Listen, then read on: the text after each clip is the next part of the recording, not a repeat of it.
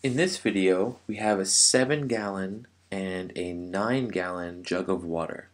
So, and they're empty. We have a 7 gallon and a 9 gallon. And our goal is to use these 2 gallons and let's say some kind of hose or something with an unlimited water supply to measure out all the gallons between 1 and 9. So we want to use these two jugs of water and this hose to measure 1 gallon, 2 gallons, 3 gallons, all the way up to 9. Now, I suggest you try this, you know, pause this video and give it a shot. And then I'm going to share my solution. And I'm wondering if there's a faster way to do this because I just solved this riddle and I solved it in a way that seemed natural to me. I wasn't looking for efficiency, but I am wondering, is there a better way to do this? So right away, I could fill up the seven gallon jug and that would give me seven gallons. So we, we're done with that one. And also, if I fill the nine gallon jug, I get 9 gallons. Now we only have one, two, three, four, five, six, seven more to go. So what I did first was to get 2 gallons. And the way I did this was by filling up the 9 gallon jug. And then pouring this into the 7 gallon jug. And if you think about what's going to happen, right, the 9 gallons, if we empty it all out into the 7 gallon jug, we're going to fill the 7 gallon jug up completely. So 7 gallons will be in the 7 gallon jug and 2 gallons will be left over in the 9 gallon jug because 9 minus 7 is 2. So I can get 2 gallons by pouring the 9 gallon jug into the 7 gallon jug. And now I keep going. And I'm going to actually try to build up the situation. So um, I have 2 gallons in my 9 gallon jug. Right? And my 7 gallon jug is full, but first to get the next one, I'm going to empty out the 7 gallon jug. So now my 7 gallon jug is empty and I'm going to try and get 4 gallons. So I'm going to use the 2 gallons I have to get 4. And what I could do is pour the 2 gallons from the 9 into the 7. So these 2 gallons go into here. Right? And then what I can do is fill up the 9 gallon jug all the way. So there's no more 2 gallons in here, there's 9 gallons of water. And I can empty that into the 7. So everything I can now from the 9 gallon jug into the 7. And what's going to happen? Well, there's already 2 gallons in here. If we empty out the 9 gallon jug, how many more will fit to make 7? Well, well 5 more, right? So we'll have emptied 5 gallons from a full 9 gallon jug into the 7 gallon jug. And that means 4 gallons will be left here, right? Because 9 minus 5 gives us 4 gallons. So again, we just emptied out the nine gallon, the two gallons from the nine gallon jug into the seven gallon jug, filled up the nine, emptied it again, and we're left with four gallons in the nine gallon jug. And we'll try and use that, excuse me, I think to keep going. So next, um, I've got the two, and I've got the four. And actually here, uh, I got a little stuck, so I'm going to say I empty out both jugs and start from scratch. And this, this time I'm going to go from a different way. So here's my 9 gallon jug and here's my 7. This time I'm going to fill the 7 gallon jug up all the way. So that's 7 gallons of water in here. and I'm going to pour those 7 gallons into the 9. So we have 7 gallons now in the 9 gallon jug and the 7 gallon jug is empty. Erase that. Okay, so 7 gallons in the 9 gallon jug. And now I'm going to fill up the 7 again all the way and pour everything I can into the 9. Well, how much will fit in the 9 gallon jug? Well, it's already filled with 7 gallons, so 2 more gallons can fit to make 9.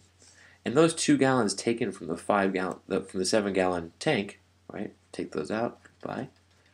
We'll leave 5 gallons left. So we use we can do this to measure out exactly 5 gallons, and that's done. Okay, let me clear this off. And we keep going. I'm going to just keep resetting up this diagram. So here's our 9 gallon jug, and here's our 7. And right now, we have exactly 5 gallons in a 7 gallon tank. And we can use that. And here, we can actually use this to get 3 gallons. So I'm going to use the 5 to get 3. And what am I going to do?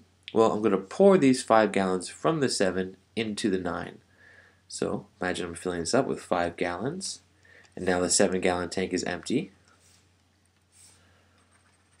Clear this out. Okay. So, so I keep going here. I'm going to fill up the 7 gallon tank all the way.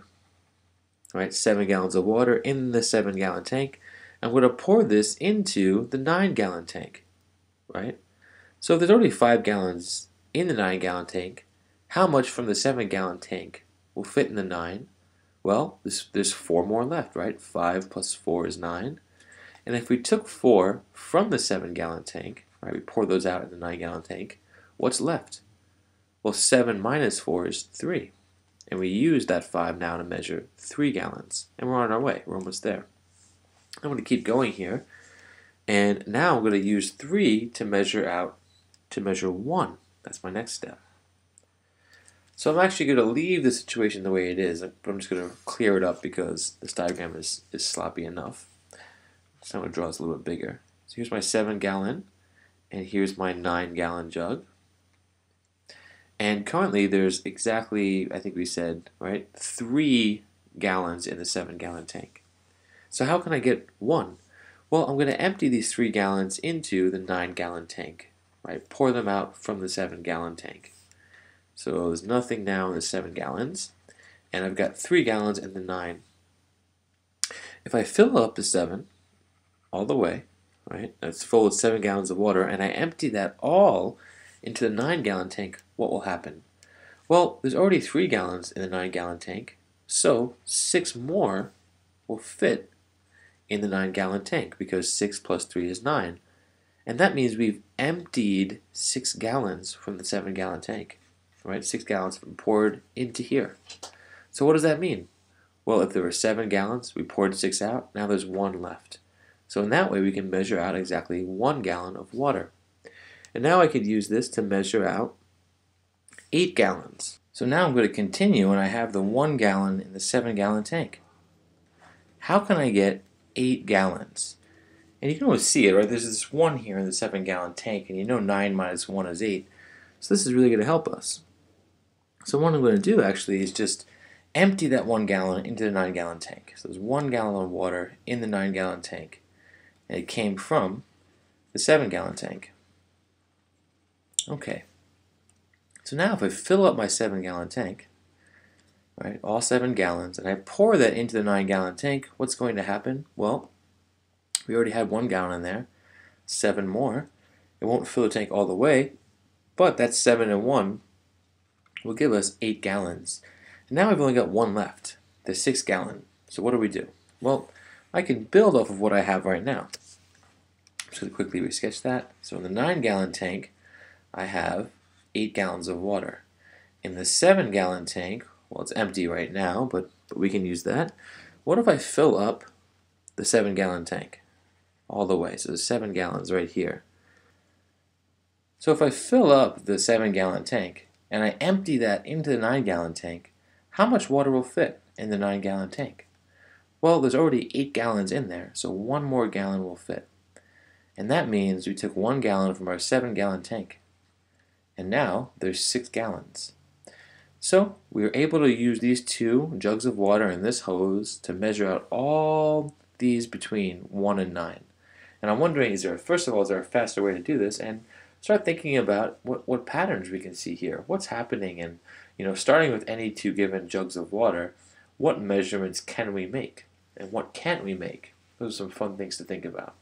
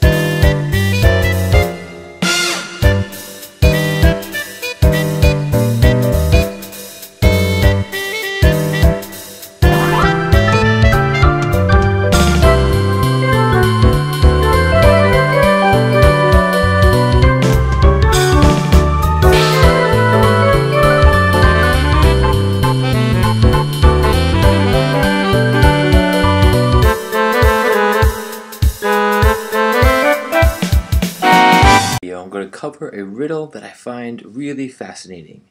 And I love to solve this one because it presents really great issues for other riddles that are related. So let me get to the riddle and explain to you what it is. I'll pause the video and you can try and solve it. Now, the premise of this riddle is that you're trying to bake a cake or something or do something that takes four minutes. So your goal in this riddle is to measure four minutes exactly. That's your goal. You're measuring four minutes with a clock. Now the challenge is, uh, imagine, let's say you're in the kitchen and you're trying to bake a cake and you need to measure four minutes. Well, how do you do that if you have two clocks and one clock measures time in chunks of three minutes and the other clock measures time in chunks of five minutes? So the goal is, how do we use these two clocks to measure four minutes? Now if you're wondering how these clocks might work, imagine that the three minute clock, for example, what it does is it runs and every time it hits three minutes, it rings a bell. So it starts, it goes for three minutes, hits a bell, and then starts again. It goes over and over and over again in a circle. And every three minutes, it rings and goes ding, and you know three minutes have passed. Now the five minute clock also runs in a constant loop. And every five minutes, it rings, and you know five minutes have passed. So you don't even need to reset these clocks, they just keep running. And every Every five minutes, this clock rings. Every three minutes, this clock rings. And what you can do in this riddle is you can start them at any time you want and stop them at any time you want. Also, you can reset them at any time you want. Um, and also in this riddle, we have to assume that resetting them doesn't take up any time. So it doesn't take a doesn't take like five seconds to reset the clock. It just resets. So with that in mind, think about it. How would you use these two clocks to measure four minutes? And again, I, am going to pause. Well, you, I encourage you to pause the video before watching because I'm going to show you how I'm working this out. And as you're solving it, think how much time do you really need to accomplish this? What's the shortest amount of time? Okay, and now, um, spoiler alert, here's my solution, and I think it is the fastest uh, way of doing this. So what I would do to start is start both clocks at the same time. And I'm going to run the five minute clock with this green color and the three minute clock with the pink color. I'm going to use lines to represent the time. So, five minute clock runs at the same time that the three minute clock runs. What will happen? Well, they'll start at the same time, and after about three minutes, the three minute clock will ring, and then it will start again. So, let's just map that out for a second. If we run the three minute clock, it rings and then runs again the next time it rings, what will you know? Well, the next time it rings, you'll know that six minutes have passed. So when the, the three minute clock rings the first time, right? Two minutes later, the five minute clock will have rung. So you know that the time from the ring of the three minute clock to the time that the five minute clock rings is two minutes.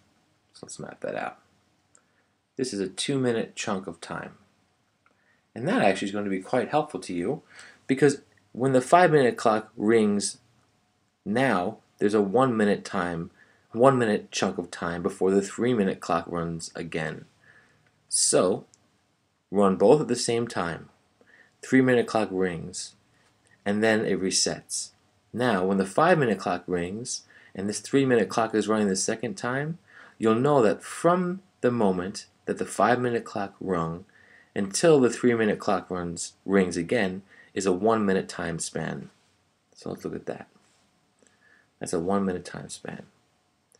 The five, and then we'll run the five minute clock again and see what happens. And you'll see that this problem is starting to develop nicely. Here, this is a one minute chunk of time. Okay, so what's going to happen now is you're able to bake this cake or whatever in four minutes. Why? Well, because when the, the three minute clock rings the second time, from that moment until the five minute clock rings again is four minutes. If you look at it right here, right? This chunk of time is four minutes. what has happened is the three minute clock has rung twice, and the five minute clock has rung twice. And you can almost think about that. Oh, well, for the five minute clock to run twice, that means 10 minutes have passed. And in that 10 minutes, the three minute clock has rung twice. And that's six minutes. And the difference between them is this time right here, the four minutes you need. So, how do you bake the cake? Well, you run them at the same time, the three minute clock will run, let it reset, right? Now, when the five minute clock runs out over here, run it again. This is the five minute clock mark, the second running. And when the three minute clock runs a second time and rings, ding, right? Throw the cake in because now there's four minutes left on the five minute timer and you can bake what you need to. And, and this problem, uh, for me, was particularly challenging. And the goal is to say, well, how much time did you take to do this? Well, I took 10 minutes.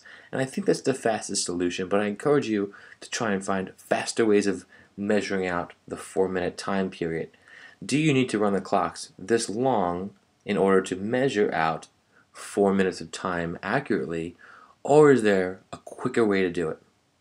All right,